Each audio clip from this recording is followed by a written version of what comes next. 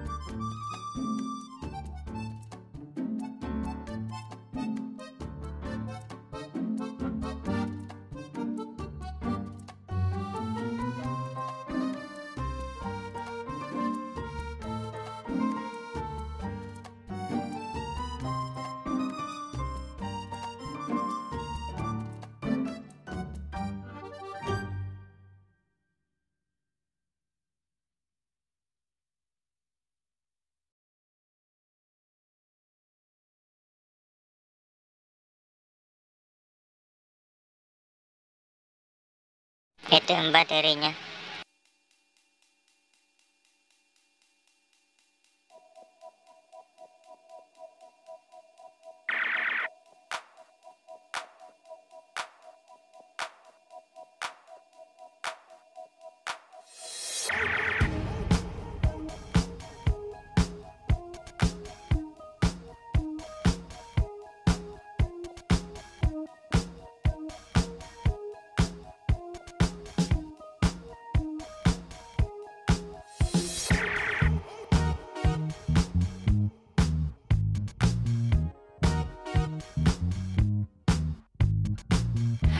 may remote pa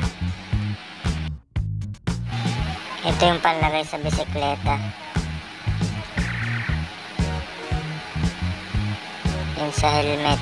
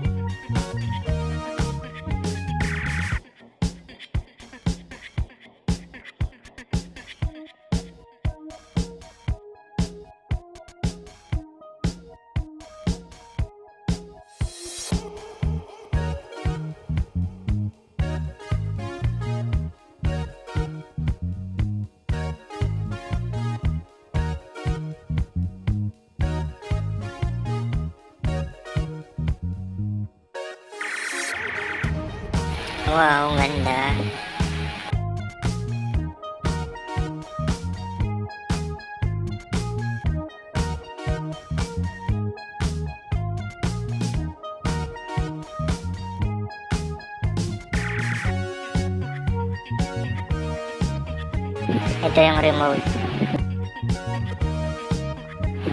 Ang dami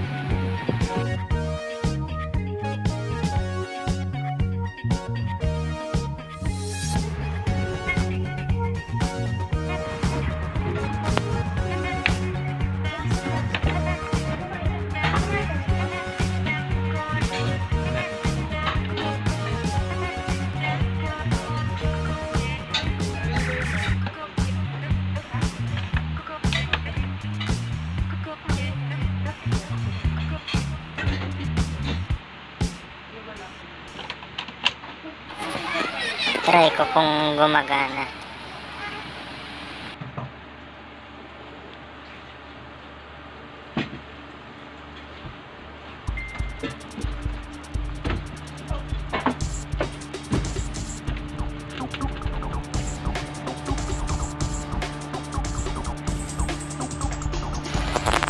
Ilagay na natin yung battery.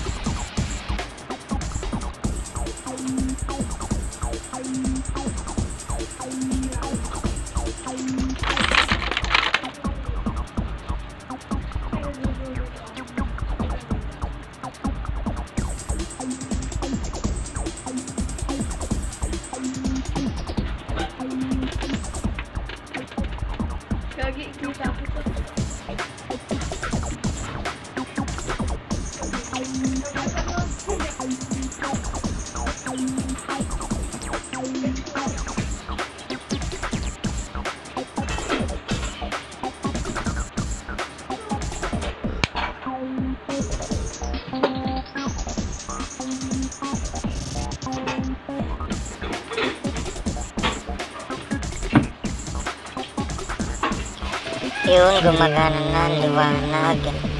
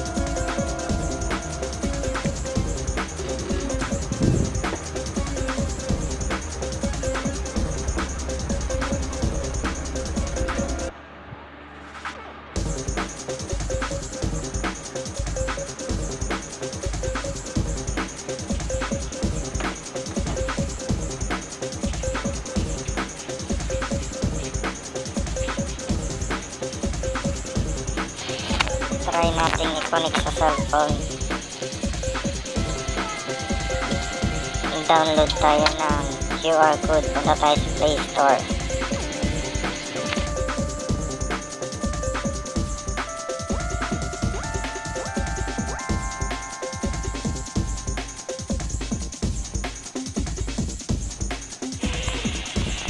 QR code scanner.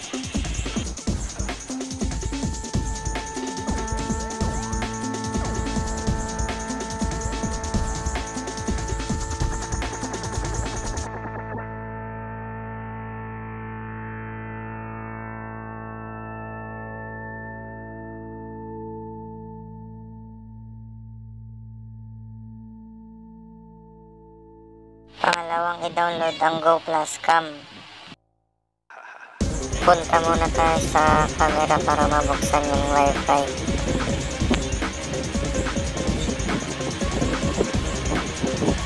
Buksan muna natin yung i-on muna natin.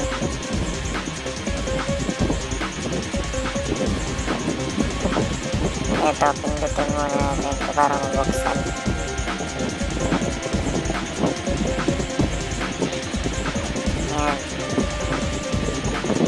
Pindutin natin.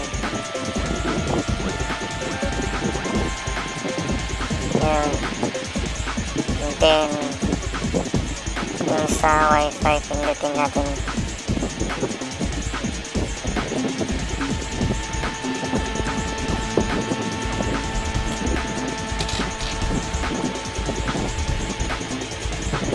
Ito siya. Yung may logo na wifi. Nasa taas. Pangalawa. Sa taas. Yan. Pindutin natin.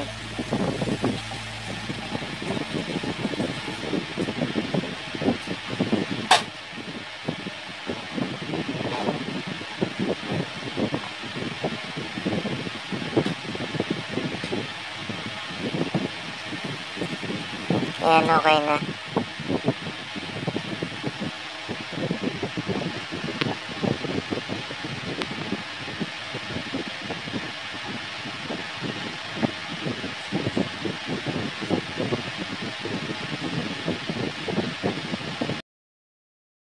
Huwag nyo na siyang pipindutin, ganyan na lang. Para makikonnect sa cellphone.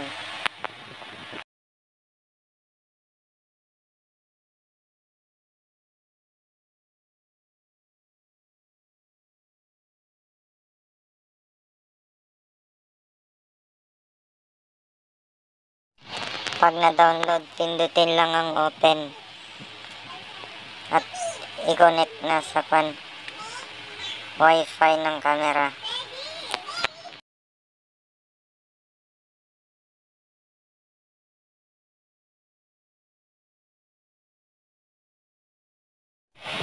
Pindutin ang action cam.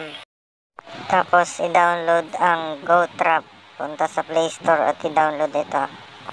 Pag na-download, i-open na nyo at pindutin nyo yung allow. Ayan, gumagana na siya. Ganun lang kasimple mag-connect ng cellphone sa camera ng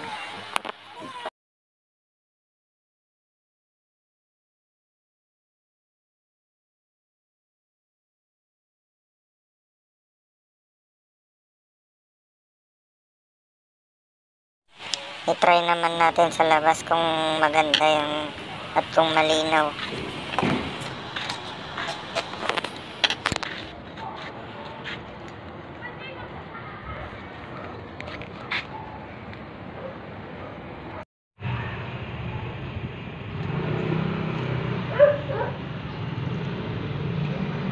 Ito yung waterproof case niya. Maganda na siya na ikabit ko na rin yung bracket niya. Nilagay ko na rin yung kable. Pan supporta. Gan ganyan ang gawin nyo guys. May supporta siya para kung sakali lang.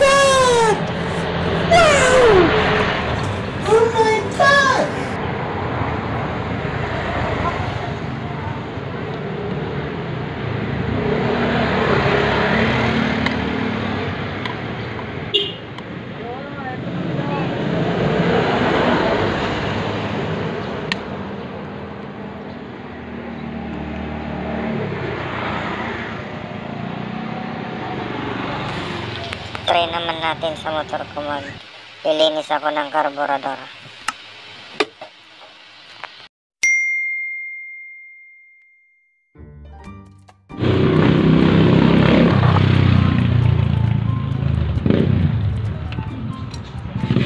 Ito yung lilinisan natin.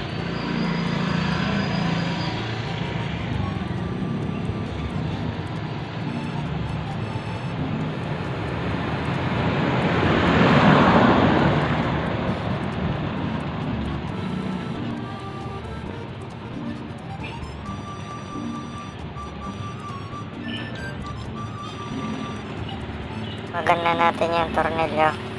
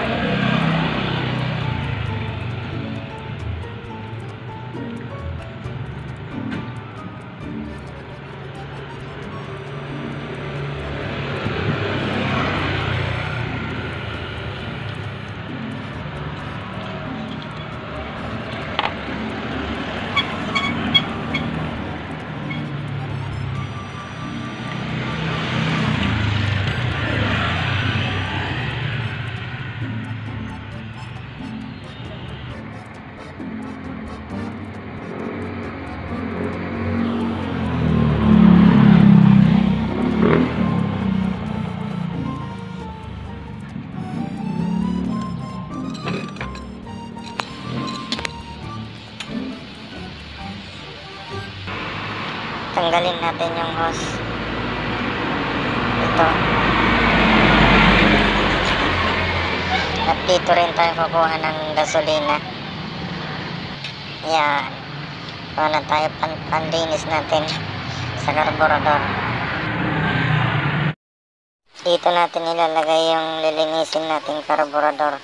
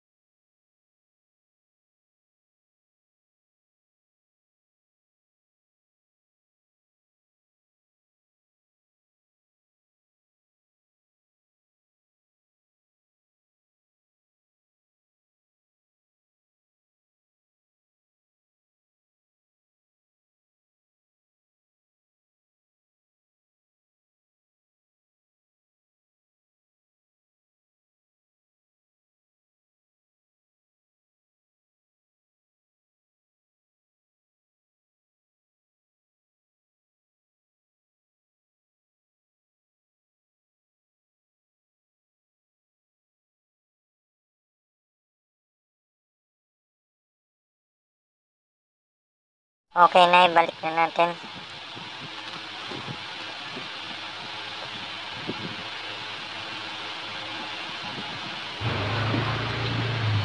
Yan.